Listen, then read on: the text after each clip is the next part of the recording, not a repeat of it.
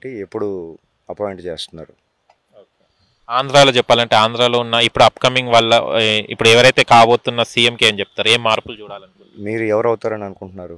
ఎవరో మనకు కూడా తెలియదు. డైలమా అవుతే ఏం చేయాలి చేంజెస్? నా ప్రిడిక్షన్ సిబిఎన్ అనుకుంటా.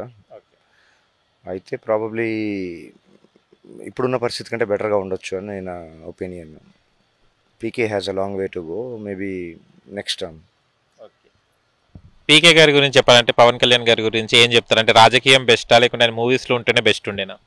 ఆయనకి ఏది బెస్ట్ అన్నది పక్కన పెడితే ఆయన సమాజంలోకి వచ్చి ఆయన ఎన్ని సేవలు చేస్తారో జనాలకు తెలుసు.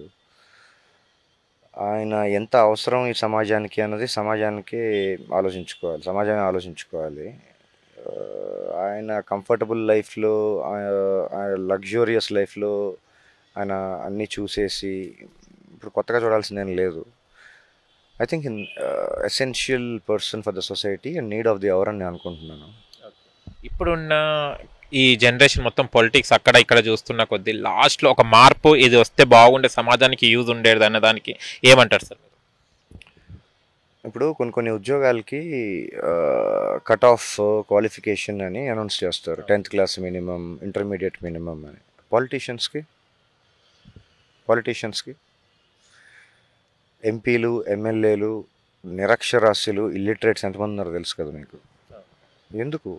ఇంకెవరు లేరా? ఎంత మన జనాభా? మొత్తం స్టేట్లు లెక్కేస్తే లక్షలు కోట్లలో ఉన్నారు కదా. అన్ని కోట్ల మందిలో ఇల్లిటరేటే దొరికాడా?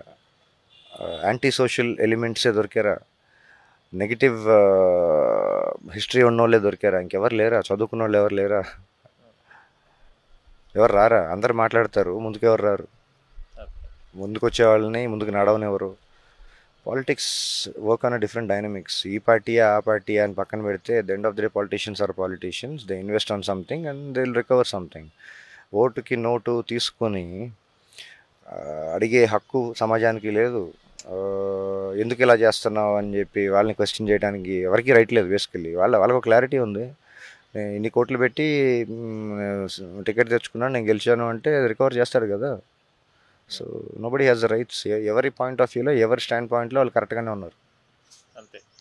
అని నా opinion okay okay sir thank you so much Prem గారు థ్యాంక్ యూ సో మచ్ మీరు లాస్ట్లో చెప్పాలనుకుంటే మీ గురించి చెప్పాలంటే ఏం చెప్తారు జనాలకు? అంటే చాలా మంది మీ ఫాలోవర్స్ ఉన్నారు ఇప్పుడు తెలుసా మీడియాలో. అసలు మీరు ఏ మూవీస్ చేశారో మాకు తెలియదు కానీ సోషల్ మీడియాలో మాత్రం ప్రేమ్ గారికి లేని ఫాలోవర్స్ లేరు. టోటల్లీ చూస్తే కనుక చాలా మంది పెద్ద నుంచి చిన్న వరకు మీ వీడియోస్ వాచ్ చేస్తున్నారు. వాళ్ళకి ఏం చెప్తారు? లైఫ్ పైన కొంచెం ఫోకస్ చేసి కొంచెం అకౌంటబిలిటీ కొంచెం రెస్పాన్సిబిలిటీ ఉంటే చాలా మార్పులు జరుగుతాయని నేను అనుకుంటున్నాను. అయినా ఏం చెప్పినా వినడానికి రెడీగా లేరు. నువ్వేంది నాకు చెప్పేది నువ్వెవడరా నాకు చెప్పేది అన్న పాయింట్ ఆఫ్ వ్యూలో ఆలోచిస్తున్నారు most of the people but then మీరు అడిగారు కాబట్టి చెప్తున్నా. తీసుకునే వాళ్ళు ఎంత తీసుకుంటే అంత తీసుకుంటారు.